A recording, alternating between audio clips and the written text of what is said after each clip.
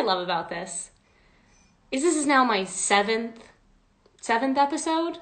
I don't think it get I don't think I'm getting any better at it. Like I don't think I'm getting any more professional. So that's great. Hi, but I did I did remember to bring an actual whiskey glass tonight. So you know what? Maybe I am getting a little bit more professional. You never know. Or maybe professionalism is just overrated. How are you all? I am just getting myself ready. This is Oban. I'm still working. I would like everyone to know I am still working on the same bottle of Oban from when I started this interview series, and it's not empty yet. So I feel like I should probably get some kind of credit for that. But yeah, this is not getting any more. I almost just spilled whiskey. That is so much scotch. Oh my god. I almost spilled whiskey all over my table. So just to prove a point, I am not getting any more professional about this. Hold on, Rachel, I've got I've got you, Rachel.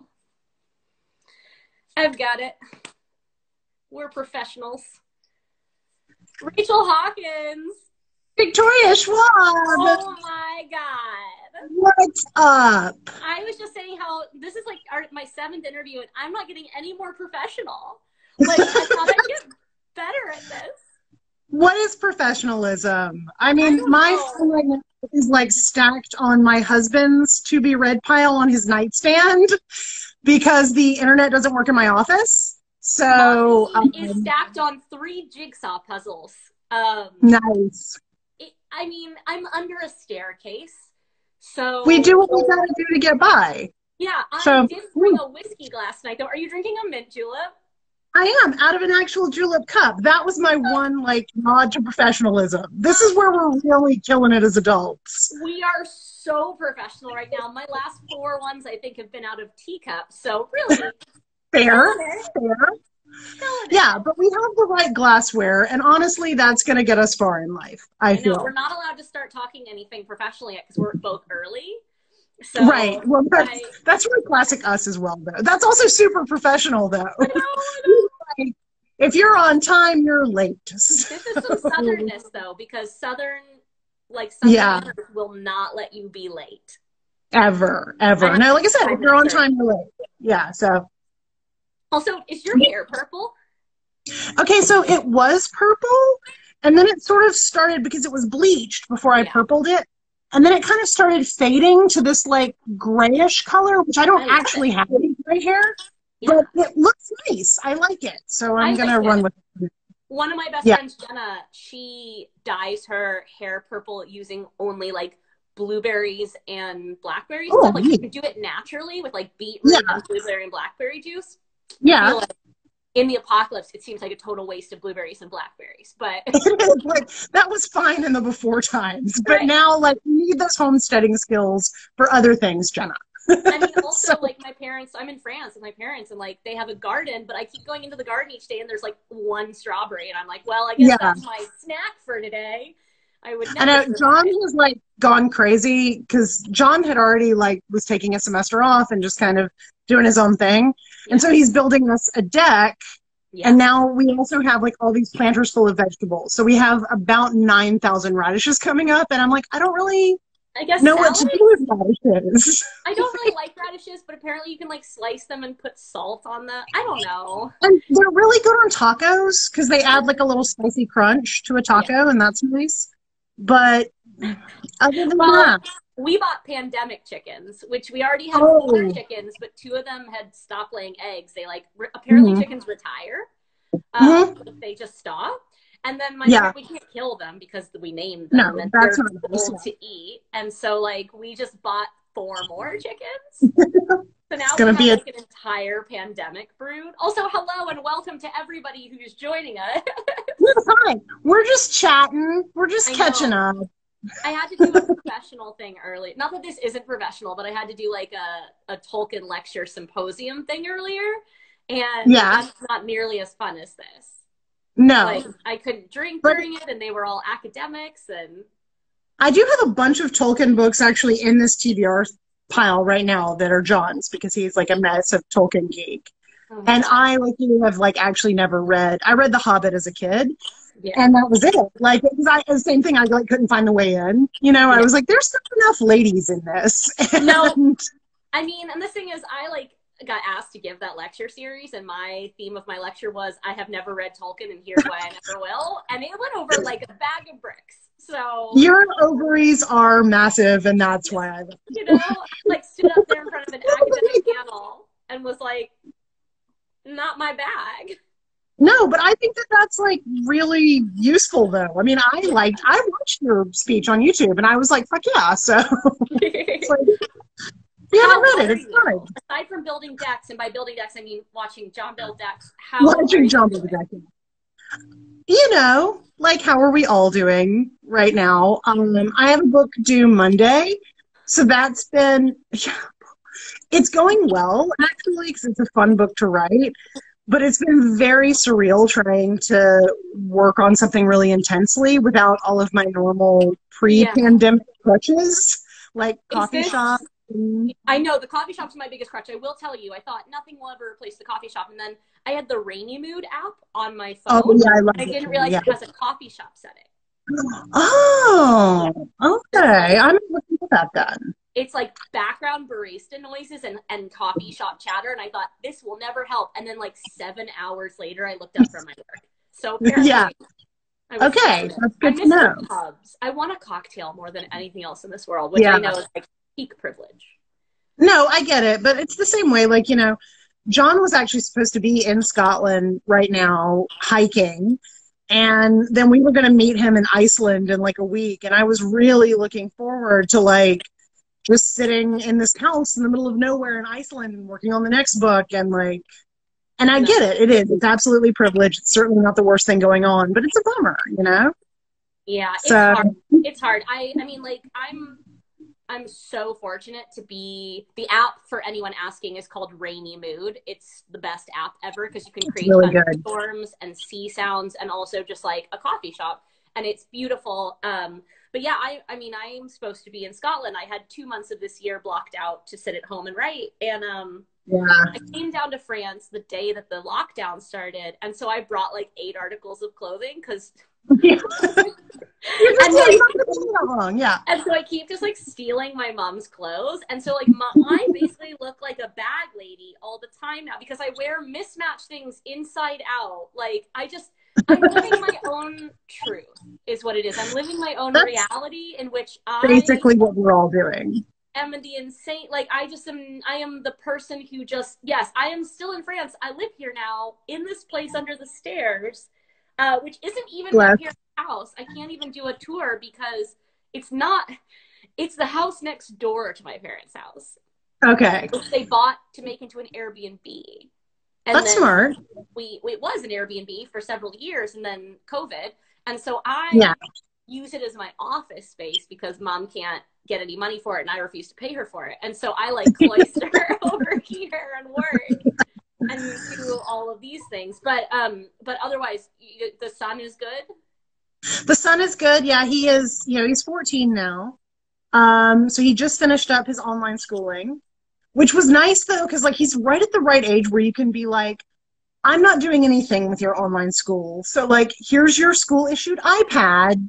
Go nuts. Like you do what you're supposed to do. And if you fail the eighth grade, there you have it. consequences are learned. But no, so he's doing great. I mean, although the other day he was like, I just really want to see my friends. And he's very introverted and, you know, he plays Yeah. video games and talks to friends online and all that. But he was still like, okay, I've had it all. Yeah. I hate everyone, but I still had a moment where I was like, I almost said something egregiously inappropriate for the internet, but I did have a moment where I was like, like, is girl gonna get to go on another date ever? Like, I you know, like, God, like I was coming into 33 real hot, and all of a sudden Yeah. the breaks just like, no, that is, it is hard for the single people. Like the married people, we do have a limitless supply of that. Yeah. Of course, the thing is, no one wants it though. We're like, Oh, uh, God. that seems quite frankly. So, the unpredicted consequence of like the pandemic is I was like, whoa, I really should have gotten like a lot of rocks off a lot sooner. You really should have. but a lesson has been learned. also, I was thinking about the fact when you said your son's age that we, I don't think Yeah. a lot of people who are watching this right now know we have known each other for a Oh my gosh. long time. Over 10 years now. Yeah, Yeah, right at I've 10. been with Holly. I've been with our agent for 10 years. Yeah, so it's definitely been before that. So it's probably since like 2009, I'm guessing.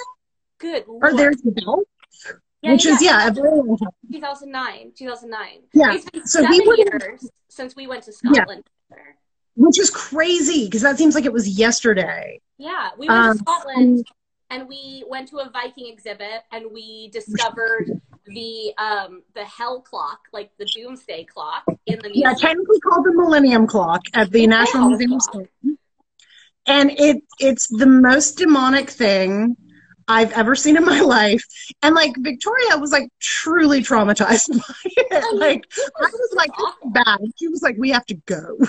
Well, it started gonging, and it starts. It's like a giant wooden clock that starts rotating and showing scenes of ex- insane depictions of like torture and, and murder and such, which is normally like- my like- bag.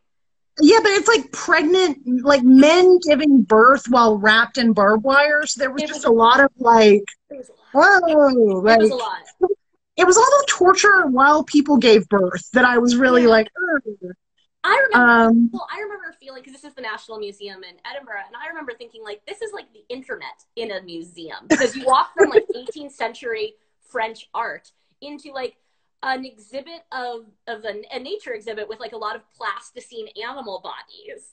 right. And then there would be like, and here's a typewriter on the wall, and here's Dolly the sheep, and you're like, your brain couldn't take any of it in. It was too much. But we went to a Viking exhibit there, and then Yes. and then we each got a Viking coin from the gift shop, and then we went to the Fire and Tits Festival, which is Beltane. Yes. Which I Amazing. Fire and Tits, and I'm a pagan, and I mean absolutely no disrespect when I say it, but it takes No, place same. on Calton Hill at midnight in front of a bonfire. It's the most incredible experience in the world. There's a lot of fire and a lot of tits, and uh, So many, and it's morning- cold. It was so cold, and so many people had their whole tits out and their whole asses out. Like so many people were so naked, and we were like in coats with boots. Uh, we're not very good remember?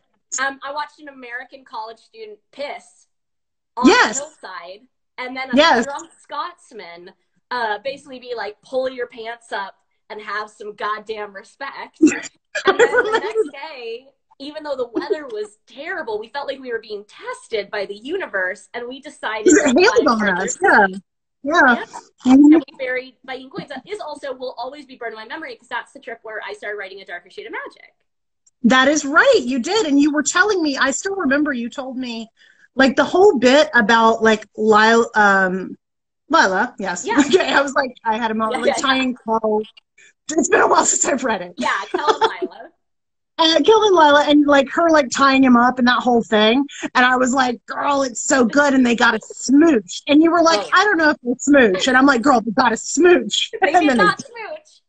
they, they didn't there. No. Unlike the last. They smooched later, which is better. No, this is the main difference between our books. In mine, you always got to earn that smooch. Like it's going to put you Yeah. through all the hell first. Mine is always like, we smooched and now everything is ruined.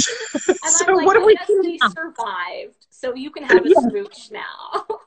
Exactly, exactly. Mine is like, what have we wrought with our smooching? Kirsty, the book that you have due on Monday is this under? Yeah. Is this a Rachel Hawkins book or is this an Erin Sterling book? This is an Erin Sterling book. So this is my first romance novel, and that's crazy. Um, and yeah, this is this is the Ex Hex where the plot really is we smooched and ruined everything. So um, or actually, we had a very torrid summer affair that went badly. And uh, when both people involved are witches, sometimes accidental cursing happens. when two witches get together, things happen. exactly So things wait, is this your first Erin Sterling book, or is Wife, Up, is Wife. Upstairs is as Rachel Hawkins? Wife Upstairs is Rachel Hawkins. Yeah. So, um, so yeah, it's, it's, there's a lot We got a lot on. to get through. You have written We how many books? I have had I've had 11 published books so far. Girl. So, and then I have three more under contract. Yes. And then The Wife Upstairs coming out. So, yeah, there we go. And The Wife Upstairs comes out when? January, January 5th. So it's like actually not too far away. Like it sounds crazy to say in May, but you know how publishing. fun? I'm like, oh, it's coming down the track now. Eight months. So- yeah, it's still. I feel like. Well, I also felt like it was March, and then I got very Right. confused when I found out it was May, and then I also thought Yeah. it might be August. Like it's time is so precious. And then Addie is in October for you, right? Addie is in October. Which is perfect timing for that book. I mean, You also talked to me right? about that book when we were in Edinburgh. The Edinburgh trip was really like, Addie and um, a long time. Yeah, yeah. I remember that one and Savage Song, like both of those. I mean, I got Three. a long, a long burner. I have a long, Yeah.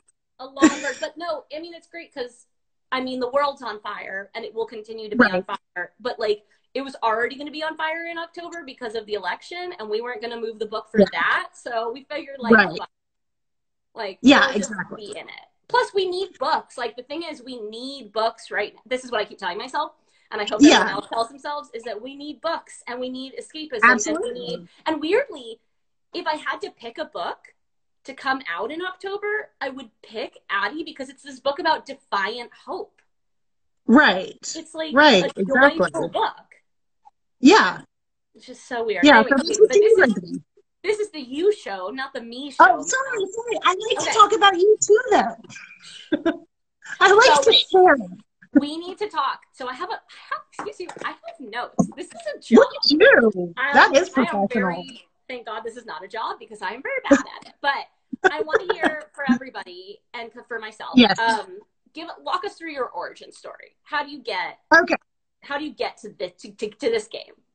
to this game let's see let's let's wind it back so yeah um i used to teach high school english and so when i got out of college i taught preschool for a while and then i was married and my husband was a high school science teacher. And i just really kind of wanted like his his job did not seem easy by any means but i did like the schedule better than i liked mine and i liked the money better which is really sad. That tells you how much I was making teaching Yeah. preschool. When I was like, woohoo, teaching public high school. That's where the big bucks are. Broken system. Um, so yeah, it was it wasn't great, but um, but I didn't have a teaching certificate or anything like that. I just had an English degree, but I was able to get an emergency certificate, and which basically gives you three years to teach high school while you get your master's in education. Okay. So I was teaching high school. I was going to grad school at night, and I had a baby in there because I was like, let's just do it all. Let's just, you know, why not? Um, grad school and also getting my certification through the state tangled up really badly after about three years. Like right when it was really important that it go smoothly, Yeah. it did not. And it was really frustrating. And I was really felt very hopeless and didn't really know what to do. And I had this thing where I was like, you know what? I've been teaching high school for three years. I've read a ton of YA because I had not been reading YA before that. I mean, I had when I was a kid, obviously. I was reading Harry Potter and stuff. But on the whole, the whole YA thing was passing me by until I started teaching. And then I was like, well, let me try my hand at this because I really like this and I think I could do it. And then, like, the whole idea was just like, let me make enough money Yeah. to like save my grad school stuff. Yeah. You yeah. And um, so I sat down and I had to quit my job because of all the red tape and everything. And I wrote my first book, which was Hex Hall. And so, like, I was extremely lucky. Like, the timing was really, really good. First of all, I'm just going to point out to everyone here, you your very first book that you wrote was Hex Hall, which is your first published book, which is not normal. Yes. It is not normal. It is not normal. I will say too, though, that I had been like half-ass writing books for years. You know, starting and never finishing Did you write anything. fan fiction? Because I feel like that's also an education. Yes, a little bit, not very much. But I think now when I look back, like a lot of the stuff that I was writing as a younger kid was fanfic. We just weren't calling it that Yeah. because it was like the mid '90s and we didn't know about it. Um, or I didn't know about it. Yeah. So yeah, so I wrote Hall from like, and then it, it all happened really fast because also like 2008 in young adult literature was like the freaking Wild West. Yeah. So there were, you know, a lot of books being published. Um, I wrote Hex Hall from October of 2007 to February of 2008. I signed with Holly, my agent, who is still my agent today. She was just a baby agent in 2008. I was a baby author, so it worked out. Now she's like running the world. I know. so, she's such a baller. Um, so I got extremely lucky there. Like that was probably the luckiest break that I got in the whole thing was landing her right away. Yeah. And um and so yeah, then she sold it to Disney Hyperion in a three book deal, changed my life. I mean, you know, it was I could I could write for a living. Yeah. Um again, that was the world of YA in 2008. I don't know. Those were the days where they were like, Those were the days. money." exactly. You've never written a book before, write three. Have I always joke. I always joke that like creative industries are some of the only ones where we reward a lack of experience. Like you would never be like, here's Right. debut surgeon. He's never like committed, like he's never like done a surgery before, but he's gonna be great. We're gonna give him a million dollars for this a one. lot of pressure. Right. And by like his 50th surgery, we'll give him 15 grand. You can't hit those guys with truth bombs until I until I empty this glass. yeah, So anyway, so yeah, that was kind of how, and then it all just sort of went from there. Um, so yeah, again, extremely fortunate. It's a real. It, it, it is not a story that would happen, I think, today, and that's not to like bum anybody out. It's just that like markets are weird, and I happen to hit at a very lucky And to market speak, to speak to the fickleness, because we now have both been in the industry for more than a Yeah, decade. a like there are these hills and valleys where I sold a book like a year after you, and they were like, "You want money?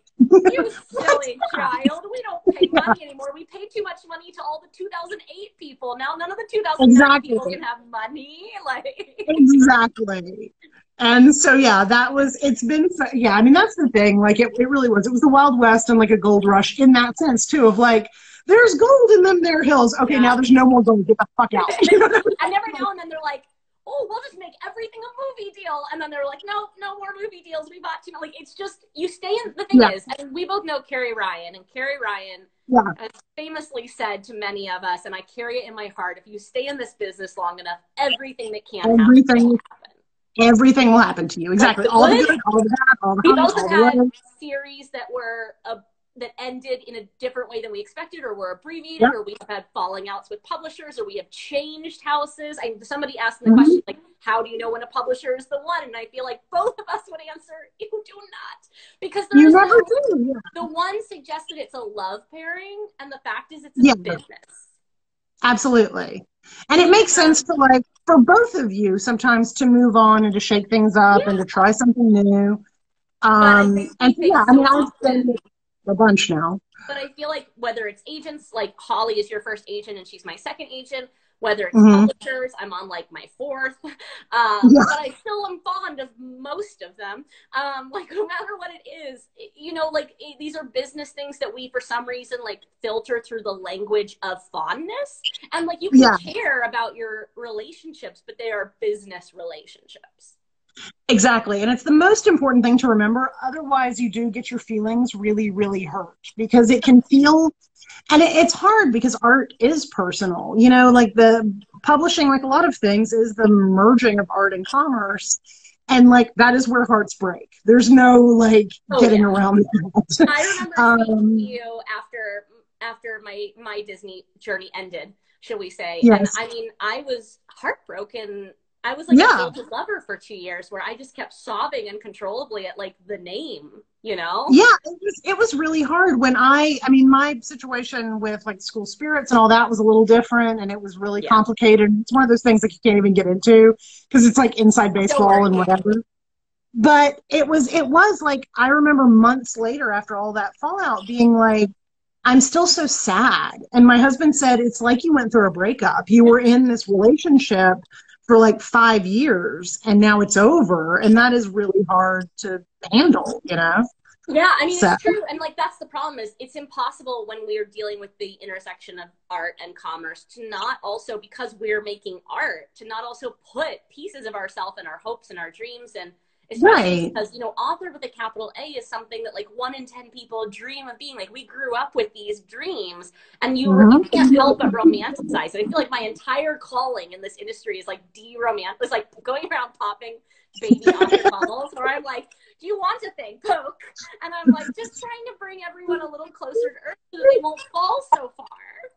I remember once, like both of us, I think, got invited to the same like writers retreat that was like all debut authors, Yes. and both and we had not debuted yet, and uh-huh. both of us were like, we can't go because it'll be like them, like, and this is my marketing plan that will surely happen. Oh, And then I was like, it's gonna be like a cut to like the two of us, like in fur coats and sunglasses, drinking vodka out of a bottle, being Okay. like, no, I went to one though, and it ended up being me and Carrie Ryan drinking white wine out of the bottles in the corner because all of the baby authors were like, "I'm special. It's not going to happen to me." And we were like, "Children, it happens. it will happen to lives." everyone. Anyway, Yeah. Okay, but we're here to talk about good things. So, Yes, good things. okay, so Hex Hall. You get this Yes. massive three book deal for Hex Hall. Yes. Mhm. Wonderful series with the most beautiful Bulgarian cover I've ever seen. It's basically just a spider on a Amazing. Look at my Bulgarian Hex Hall cover, everyone. It's really something. I should have it framed in my house. It's like the craft meets Buffy, but with a spider on the belly button. Yeah, it's it's like a craft Buffy hybrid that was also a porno, quite frankly. I aspired to one of those covers. I don't think I ever it's got close. beautiful. But you have No. this kind of dream beginning because you know Hex Yes. sells in so many countries. It gets a rabid fan base. Um, Mhm. Walk us through what happens after the arc after that trilogy. Right. So then, like, you're always. So I, I wrote another paranormal YA trilogy, the Rebel Belle series, which did well, and Yeah. I really love. But of course, you're never gonna capture that kind of lightning in a bottle. And also, Rebel Belle, like, I'm still so thrilled that Penguin let me write those books because they're really weird. Like, well, looking back on them, delightful. thank you. I think so, but I'm like, oh god, this really was not like. And also by that point, like the market had changed, you know, and and the thing with YA, and we've talked about this before, and you kind of touched on it earlier. There is kind of a like who's new, who's new, who's new focus. So so you have to sort of figure out how to adapt in that. Well, you Um, went from being an extraordinarily successful debut author to Right. an extraordinarily successful author, but there's a fetishizing of the debut that happens. And so they're like, okay, great, go with God. Yeah, and you're like, oh, okay. And like again, like I because I switched publishers for Rebel Belle, I feel like I escaped some of that because like they really did put a lot into it. Um and all of that. But then I sort of took a break after Rebel Belle from YA for a little bit and I, did middle grade for two books, which again I'm really, really proud of.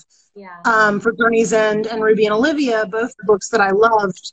Very hard to write though. Like middle grade was the hardest thing I've ever written. I do not think I'll do it again we because talked about that too at the time of like learning what Yeah. your natural voice is and what is the farthest move from that voice. exactly. And for me, middle grade, that was it. I was kind of like, I don't, I don't know what they think is funny because my books are funny, Yeah. and so I had to bring funny to middle grade. So as a result, my middle grade is still funny, I think, but it's also like my middle grade books are the saddest books that I've written. They're the like the I poured the most sort of heart into them. Um, because I think I was trying to I couldn't figure out the funny so much, but I could figure I knew the heart at least. Well, your humor is like, I think for anyone in this chat who hasn't read your books yet, it's your natural humor so close to you that I yes. feel like. Hard then when like I felt like having I met you and then I read Hex Hall like a year later and I was like, holy shit, is this just Rachel Hawkins like narrating a teenage novel? And so I think that yeah. can be difficult when you click. Like it's so weird because like my first books were YA, but I clicked with the voice in adult. And then it Yeah, a lot harder to go back into YA and middle grade because I was like, oh, but but like it just poured out when I wrote it this way, and this way I'm having to think very carefully about what I'm doing. Right. Yeah, exactly. Exactly. And so that was hard. Like writing middle grade for me, I mean, I was lucky if I could get like 500 words a day on those books. Like they were just slow going. Um, and again, the, the finished products I ended up so proud of. Like I really do. I think they're like some of the best books that I've written. Because I had to spend so I couldn't sort of You fall worked- back on the approaches you work too. so hard. I mean, the thing is, the books which Yeah. are hardest for us are the ones where, if you're a good author, if you're a dedicated author, that doesn't mean that you you like put half-ass it. If anything, you go and you put Right. five times as much work into making it good. Five times the ass. That should be Yeah, five asses. You five assed it. this is a five ass book. Yeah, that should be the for my middle Yeah. grade. We'll see how that sells fourth grade librarian. So it says that this is a five ass book. What does what does that mean? Oh god, I'm gonna five ass all my books from now I'm on. gonna five ass all on the cover. Um, okay, I'm about to top up my. Mandula. Here we go. I'm topping Another up. Mandula? Yes, because I pre-made some. I wanted to be prepared. I love you Because so much. I've also brought a small club soda for tossing it up. This is this is joyful for me. Um, okay, so you wrote both middle grades. Yes. What came next? Then I wrote the Royals books, and the Royals books, so Prince Charming and Her Royal Highness, which were my first contemporary YA books. And they are like my YA heart. You know, like this was like the my absolute id. Um, it was very funny writing a book that wasn't paranormal because like everything else I'd written before that had been. Um, so yeah, they are royal romances. They sort of let me get into like my celebrity gossip love. Um, they're rom coms.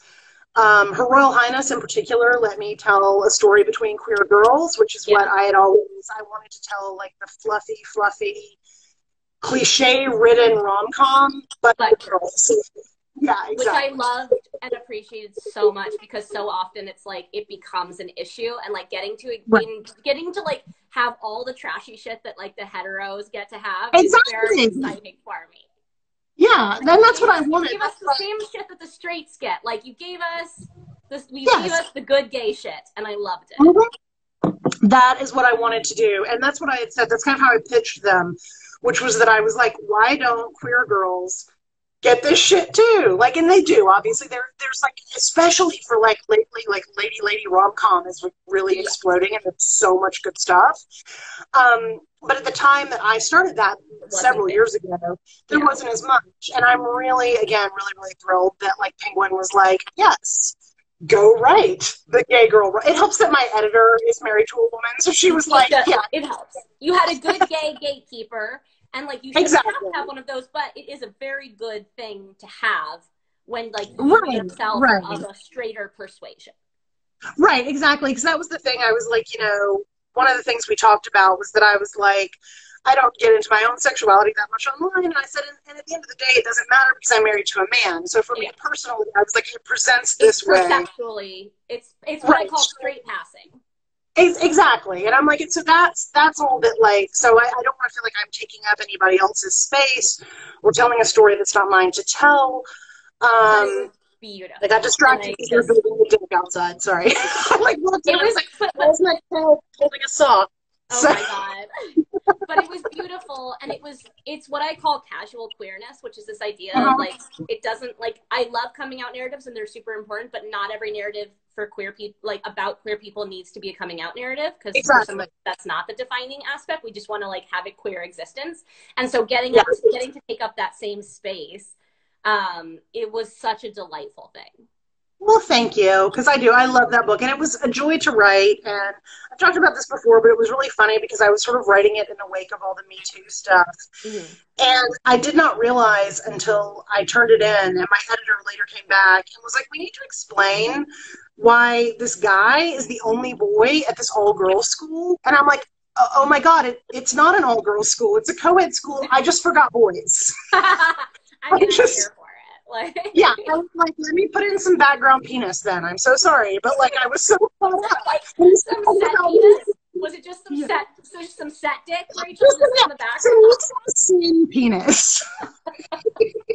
Just a little penis for atmosphere.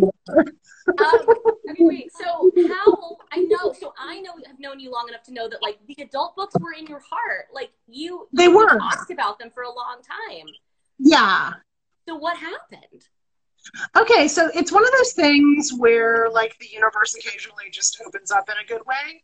Um, the Wife Upstairs, which is my first adult book, is actually a write for hire gig. So it's an Alloy book. No so if anybody knows about Alloy Entertainment, Yeah. they did like Gossip Girl and You, which is the big one for them now, um, stuff like that. So they just sort of sent out an email to our lovely agent Holly, and they were like, "We're looking to do this updated Jane Eyre, yeah. and here's our idea for it. Do you have anybody who could possibly write this?" And then halfway through their sentence, Holly was like, I have somebody for you. exactly. And this is why Holly is like the best agent in the world because I had never written adult, I had never written thrillers, but she got that, and she was like, Rachel could probably do that. Yeah. Um, which is funny too because like, you know, my background in like education or whatever, I don't have a lot of writing. Like, I didn't take very many creative writing classes, but my English degree is a literature degree, and my focus was Victorian British lit, and specifically like gender and sexuality in Victorian lit. Yeah. So I knew a lot about Jane Eyre, and I was like, okay, this yes, this feels like something I could at least try to do. Yeah. Um, so yeah, so I did like an audition for it, Mhm. and it was very funny doing the audition because, and I know you've done the occasional write for hire thing too. And I had that same thing of like, do I give them what I think they want, or do I give them how I would do this? Yeah. And I finally decided I had to give them how I would do it because that way, if they didn't like it, yeah. And If they don't like it, you know, it. And my name is on it at the end of the day, exactly. And I was like, if they don't like it, then we just didn't have the same vision of the book. So when I did my little sample, you know, the most famous line from Jane Eyre is "Reader, I married him," and I was doing my sample, doing my sample, and things occur in it, and I really wanted to end the sample on "Reader, I fucked him," and I was like, "Do I do it? You Do I not do it?" And I did it. I did it. I to think about literally- it. yeah, I closed my eyes and like screamed, like, ah, I'm typing it, go, because I was like, it's I've got So. It's so me, and I was like, you know, and if they're like, oh my god, no, this is not what we wanted, then fine. But Like, also, you then knew when they took it that you were going to get to like write an authentic, just like you weren't. Because the problem is, if you had pulled back on that and they had bought it, right, you would have like every line you typed, there would have been a voice in the back of your head saying like, "Be careful, not to X, Right. not to Y, not to Z."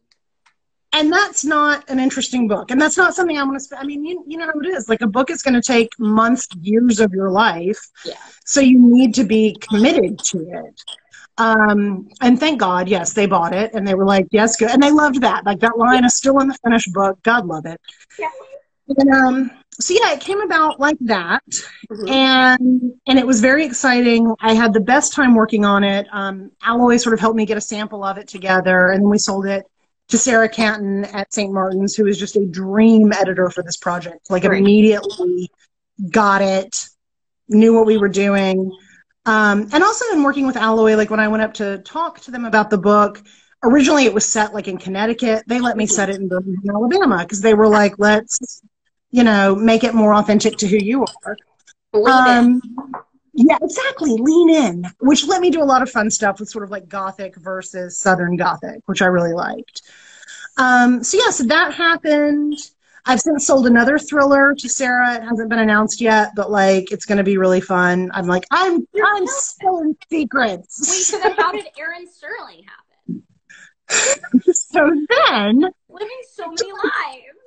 The roller coaster of publishing. Um, after the Royals books came out, I really, really wanted to write a third one.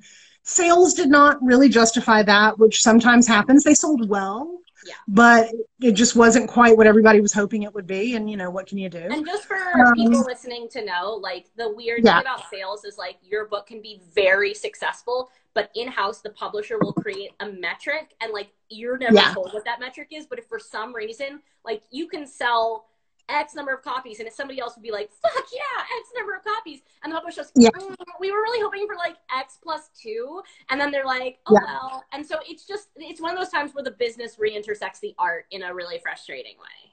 Exactly. I mean, like, and we both know of like examples where, like, you know, the book earns out, and they're still like, the. Yeah, exactly. earned out like handily and they were like mm, it's really not what we were hoping it would do and i was like are you fucking serious but Yeah.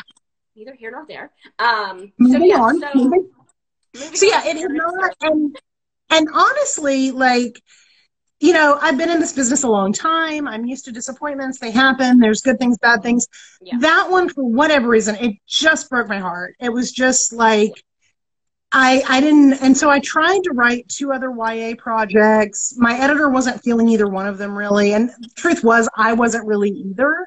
I just needed to sell a book, you know, and I was kind of doing the panic spiral.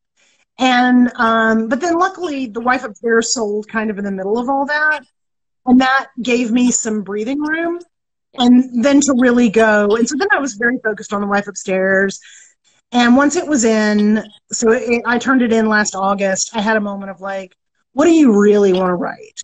Mhm. because you're you i i literally i've never been out of ideas in my life. You know this about me. I am a, i am an idea machine. I had nothing for YA. It was like i gave it time. I opened Well, it was do you empty. also like it, it takes a little bit of of heart out like when the thing that you want to write you don't get permission to write and then you try to give them other ideas and they don't want those it kind of Yes. starts eroding your excitement for the creative process and it can kind of create an empty well Exactly. And that's exactly where I ended up. And I had this real, like, you know, come to Jesus talk with Holly, just sort of saying, like, none of us are going to get a good book out of this. You know, like, I can't wait for them to tell me what they want me to write. And, you know, they tried and I tried and it's not working. It's not them. It's not me. It's just that I don't have anything to give them. Yeah. And, so they're going to keep reading that. You know, whenever I send them something, they're going to keep being like, eh, it's not quite there. It's because my heart is not quite there. yeah you needed to find Um, your joy again Exactly. So I had seen a romance publisher um, talking on Instagram because, you know, rom coms are huge in romance right now, the kind of illustrated cover, trade paperback rom com. Which I love. I've read tons of. The, I mean, I am an old school romance reader. You know, romance is like my genre. Um, so I've read it all, but I've enjoyed this kind of new wave of modern romance. And I saw someone on Instagram, I think it was Berkley, be like, one thing we haven't seen is a paranormal rom com. We're seeing a lot of rom com submissions, but we're not seeing paranormal rom com. yeah And I was like, oh shit, I could do that. That's like yeah my whole wheelhouse, you know? And so I started really thinking about like what I wanted to write. And I had been trying to write a couple of romance novels, just like straight contemporaries. And it's funny because like when I look at them now, I see the Ex Hex in them because I kept trying to tell this story about exes reuniting and like what happens when you fall really deeply in love with someone really fast and it goes bad. And now like you're adults, like you were 20 when it happened, now you're 30. What does that do? yeah Um, and so yeah, so writing the Ex Hex, I wrote, I worked on that from like August till October. I am convinced that that book sold because Holly, the genius that she is, sent the submission out the week of Halloween. So like the week of Halloween, clever the most clever like autumnal, like witchy romance, everybody's drinking pumpkin spice and lighting jack o' lanterns book hit desks. i love it so, i love it did it go to Berkley or did it go No, it did not go to Berkley in the end. I talked to Berkley and I liked them an awful lot, but I went to Avon, which Okay. like absolutely delighted me. and when is Um, it coming out it is coming out in fall of 2021. So I've got yeah the one upstairs in January and then yeah. And then like August, September, yeah. So, So, okay, yeah. so you got a lot on your plate, and you've got Yes. everything from middle grade to YA to adult, and like Yes. kind of this whole experiential docket, and and Right. um, and like I just want to know personally, like because I, I know we've written together like in the same space, but I feel like Right. I haven't talked to you about this in a long time. Like, like you know, I've had people on this. I almost called it a program. Like I know what the fuck I'm doing. Um, who like are rigid outliners and people who just like fly by the seat of their pants. And I hate the Yeah. plotter answer question because it's highly like r- it's very reductive. But when Yeah. you get an idea, like Mhm. what does the creative process look like for you? It's funny because it's changed an awful lot, like it's evolved. And one of the things that changed it hugely is working with Alloy. And then after, oh, I've also got a Serial Box project coming out in the fall. Doing it all, Victoria. Doing it all. You just, I just suggest it. everything. And um, and both of those experiences because Serial Box is collaborative, you know, you work within a writer's room kind of thing, and Alloy, which obviously is a work for hire type thing, um, I, I really changed and I became much more into the outline, but a very, very loose outline. Okay. So now, now also, and we've talked about this before, I know, when I get an idea, I do not immediately sit down and start writing. It, I really need at least a year, usually, of cooking mm-hmm. time. At least. Yeah. I've got some ideas that have been going for six or seven years. It's a smart Um, girl though because you're testing, you're stress testing the idea, and you're letting it richen and get deeper.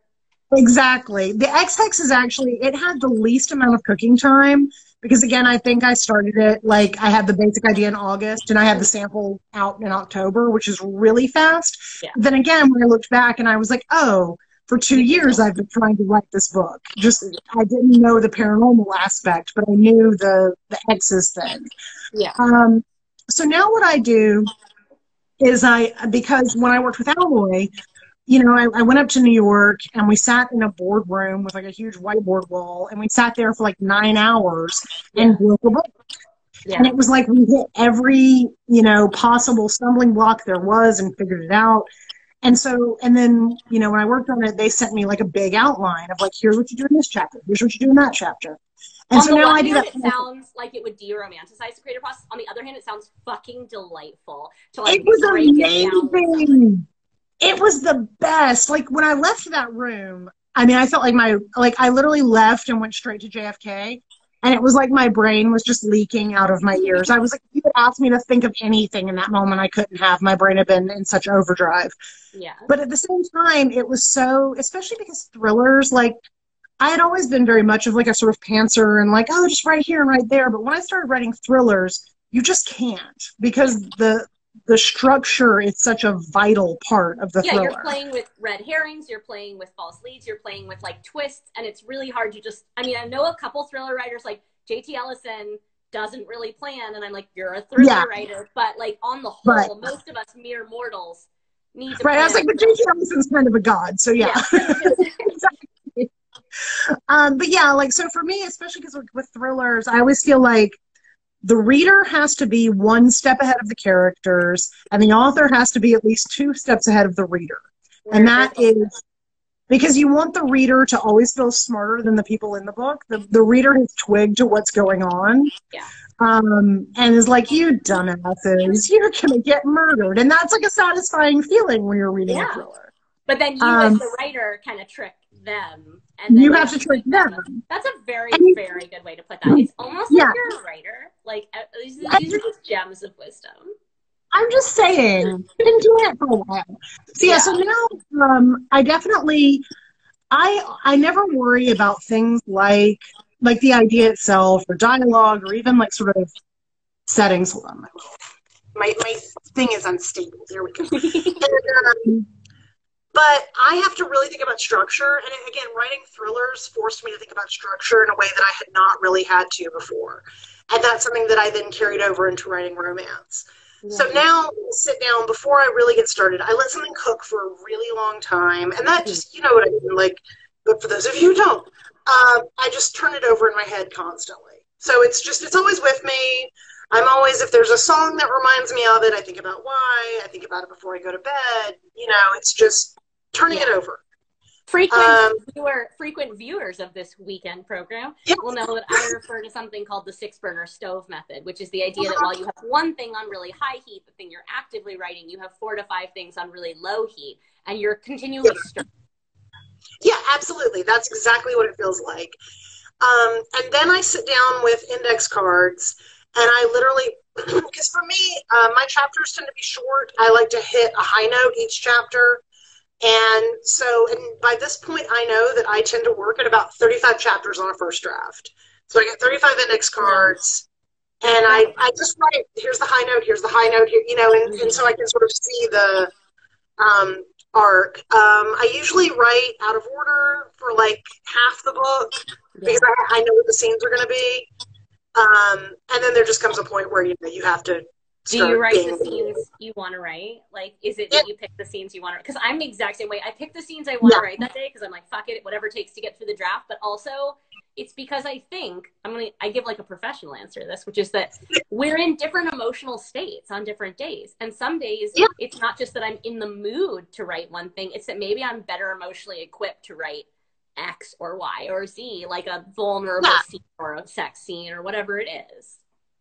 Yeah, the, it's funny because like with the romance, like I have two sex scenes that need to be finished. Like I've just I, these poor people, I've just left them at the brink, as it were, and I just haven't been in the right heads. And I was like, it's because I write in the morning, Yeah. and I was like, and seven a.m. is just a really weird time to get freaky with it. Apparently, to me, Awkward. I mean, obviously, no shame to people who you know. I But feel like it's just not your. You need to like pour No. yourself a glass of wine in the evening and just get And in I listen, in the space. listen to the right music, and then I yeah. So, um, so yeah, that's part of it. And I also, um, and I've talked about this online before, but there was a writer, there is a writer, Julianna Baggott, who wrote a blog post once where she talked about that, where she was like, writing is so hard, and there are so many times we do not want to do it. So if you're excited about writing something, just fucking write it. Why would you put it off when you actually feel joy? It's true though. And people are like, oh, I withhold, like, so I make myself wait to write that scene. I'm like, you're also probably the asshole who, like, would have left the Oreo on the plate to get an extra Oreo. Like, I, I don't have that level of, of either control or interest in being control. Like, I just want to write No. the scene I want to write because the more of the book I have written, the less likely I am to quit writing it. So, like, Exactly. And so to the, to the finish line. That is for me because I, I don't know how you so like where do you sit on like the do you prefer drafting or editing? I mean like it's like do you prefer having your teeth pulled out or getting a bikini wax? But like,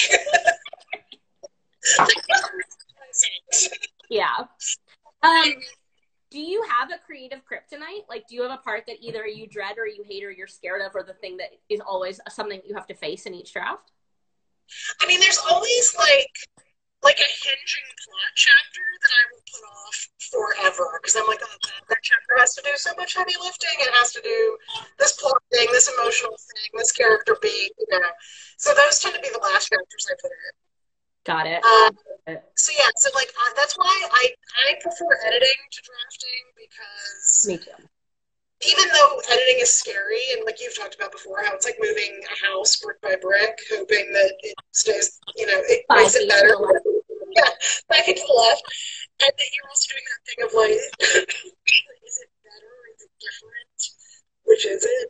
Yeah. I'm not used to talking this much. My Oh, voice is sorry. I know it's this. We have quarantine voice, which is what happens when you are not used to talking for long periods of time, and then you consume solely alcohol while you talk. also, I can't believe we're 50 minutes into this, and I feel very guilty about that because this is only supposed to run like 50 minutes, but I'm not quite done with you yet, so you have to put up with me No, it's fine. minutes. We we really though we're genuinely very good friends. when we talk Yeah, I'm getting a few notes though that your microphone has been a little muffled since you moved your camera. Can you Okay. move your camera a little closer to your face, and we'll do a tiny. Yeah. Here, actually, I can just hold it now. Oh, per- you are perfect now. You are perfect now. Um, my club So- soda. I want to talk to you about my favorite topic because it's, I'm terrible at this. Do you have any work life balance? now, um, I do because I have to because mom, you know, and and so like I've said before with like being a mom and being a writer, I get and you know women get this all the time, like this shit from not this question. This question's good, but like the question from you know men usually of like how do you possibly do it all? And part of it is like have a good partner Yeah. or a good support system. Um, it, it's hard.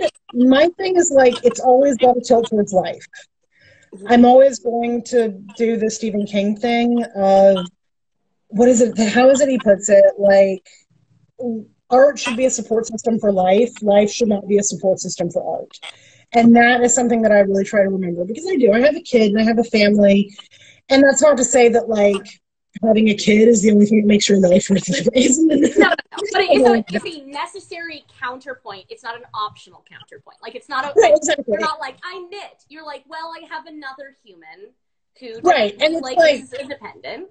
And I was like, and this is like literally like the one thing on earth I cannot fuck up. Everything else I can fuck up and it's okay.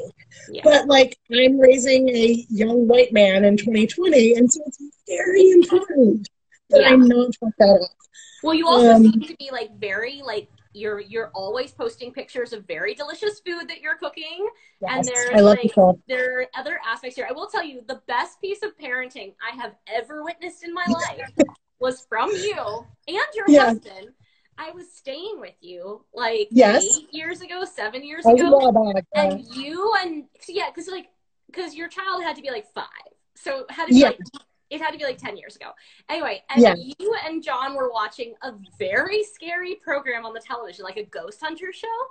And right. Your son came in Awesome and yeah. he was like, "This is scary. I don't want to watch it." And you and Jay both turned to him and said, "There's another television in this house." Then, like, Yeah. you like, wanted to come in, and you were just like, "Get like shit or get off the pot, kid. Like, Yeah. you're gonna sit and watch this program, or you're gonna go find your own." Like, Right. Yeah, exactly. Like, no, like, we're not, especially because by that point it was like late in the evening. Yeah. So, or like, you know, it was getting close to his bedtime. So it was, it was like, there's, there's another TV there. We literally had like two living rooms at that time. I It was like, bonded because also we're only children, you and Mhm. and you've made an Yeah. only child. Yes. So that was a lot of it is like, we will accommodate you up to a point, but Yeah. like if we're watching something and it's not like it's inappropriate, it's not like people are getting shot No, in the head or whatever. yeah. And you don't want to watch it, like then you're gonna go need to find something else to do because you don't run this bitch. I have never felt so seen. Like up until that moment, I was like, I can never have a child. And then I saw that, and I was like, maybe I just have to have the right kind of child. yeah, the the you don't run this bitch is like a really important thing to let kids know. It Yeah. was great. Um, okay, we're running out of time, so I have one last question. I can't wait to ask you this because it's the meanest question that I have. Yay. Okay. So I was at a conference and I met an actor, and the actor essentially was there for a show he was currently on, and almost everyone that came through his line was for a movie that he did when he was in high school. And we had Oh, it conversation. Yeah, this is Yeah, Stephen no, Street, no, no, right? Yeah, So- yeah. yeah. And so, and we were talking about the fact that you don't get to pick what you're known for. So Yeah. here's my question: Is like, if you could only pick one of your books to outlive you, to be the Yeah, book that people read, would would Yeah. you? What would you pick? And it's okay if it's one that you haven't written yet. You can say that. But if you feel like you've written a book that you would be happy if it outlived you, then that has to be your answer. Honestly, it's weird because like I'm going with like what my heart said. You know, my immediate answer is actually Journey's End, which is so funny. I know you'd think I would say Hex Hall or one of the Royals books, but Journey's End, in the end, had the most of my heart in it. You know, it's my Scotland book. I mean, the Royals books are set in Scotland too, but that's my like John O'Groats. Um, it's also like a book that I didn't realize I was like writing about my dad in a lot of ways Yeah. and I think it's like a sweet book. You know, like there's a, there's an awful lot. I my sense of humor tends to be a little caustic and sarcastic and all that. But I was like, oh, that's right. Like I do have like a secret squishy center. Maybe not that secret. Um, and so yeah, I think it's that one. I do. I think that like as hard the, the hardest book I ever wrote. Like I did not enjoy writing it. I talked to you many times while you were writing it, and you were like, "Why did I choose to write this?" I did not enjoy writing it, but I love the finished product so much. So yeah, that one. Love That's the one I'm going with. Yeah. I love it. Well, now everybody who's watching this who hasn't read Journey's End yet knows that they have to go and pick up Go Journey's read End. that one. Can Yes. you end by just giving us like the elevator pitch for it? Yes, so Journey's End is about a small village in Scotland where people occasionally disappear into magical fog, and one day a boy who disappeared a hundred years ago comes back. So what you gonna do now? I love it. I love it. Rachel, you are one of my favorite people in this entire world. I Right back at you, my love. I miss you so much. Thank you for day drinking with me. Thank you to everybody who came out and, and listened to us both kind of shit talk and honest talk about publishing for the last hour. Um, just so everybody knows, this will be up on the Instagram channel for the next 24 hours, and then it will live over on my YouTube page as an archived video because JD Hovland, who's an amazing, amazing uh, listener and reader, is is nice enough to assemble those videos for me. So That's it's live forever. We are immortalized not only through our as we should be. very informal Saturday night slash Saturday day drinking series good. that I made up one day. So thank you, Rachel. Well, thank I you so much for having me. It was a I joy. can't wait to read The Wife Upstairs and X Hall, and I'm just saying that when they're done, like, you have my email. Yeah, well, you know, you could probably get a wife upstairs from Holly. I'm just saying, it's done. So, I probably yeah, just- But I want, I also want X, I want Ex Hex when it's done. oh yeah, absolutely, absolutely. That's my, Monday. That's my oh, yeah. Thank you, everyone, and thank you so much, Rachel. Now go use this your was such a good time. good effect and go like go write something. Go work I'll on your let sex sex scenes. scenes. Yeah, it's time to write the sex scenes, everybody. It's the perfect time to write the sex scenes. Two mint juleps equals a sex scene. A sex scene, win-win. Oh, I love it. I love you. I hope I get to see your face you. in person soon. Have a wonderful Ah, rest of your day. All right. Bye, everybody.